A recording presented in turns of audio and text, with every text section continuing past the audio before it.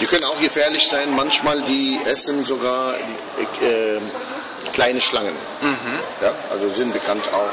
Die, äh, die haben auch starke, starken Gebiss.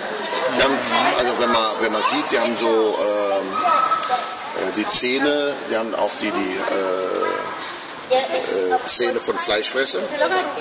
Und die können auch so kleine Schlangen auch äh, essen.